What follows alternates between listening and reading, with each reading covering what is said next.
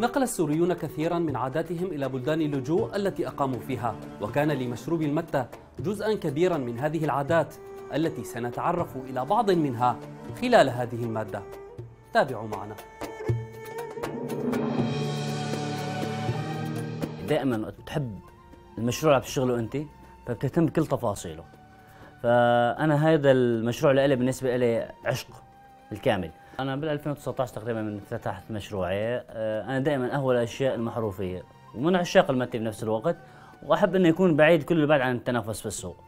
فجتني كاسة متي هديه من الشام. فكثيرين سألوني من وين وين فاستوحت لي الفكرة ليش ما افتح كاس متي وصلت لمصادر بعد تعب طبعا من الشام ومن آه، بلدان ثانية الحمد لله أم جبت طلبيات صغيرة كانت على قدي.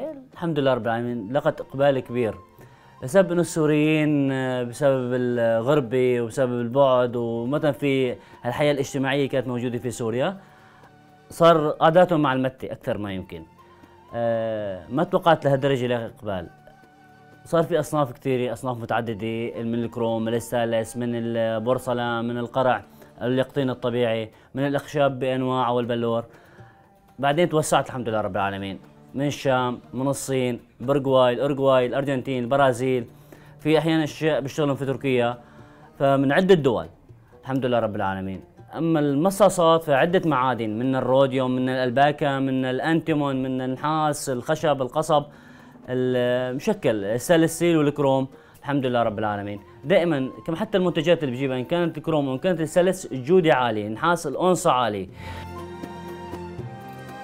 نحن كنا متعودين على ثقافتنا خلينا نقول من 2010 فما دون على نوعين متي لاكثر الحمد لله وصلت لمصادر إني جبت المتي الأرجنتيني الأصلي والبرازيلي أمثال الشيمارو والروزمنتا والجناريس والمالطا بيعرفها الشعب السوري ترجواي ال original.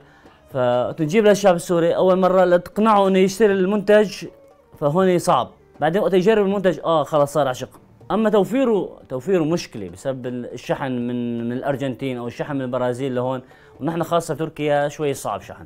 بنعاني جدا لحتى نوصل كميات أحيانا بال 100 كيلو أحيانا بال 50 كيلو أحيانا بالطبليات الحمد لله رب العالمين. بس جدا متعب والحمد لله رب العالمين موفر كم متي آه، يعني جدا جودة عالية. إن كانت البرازيلية وإن كانت الأرجنتينية وحتى إن كانت البرغواي والارجواي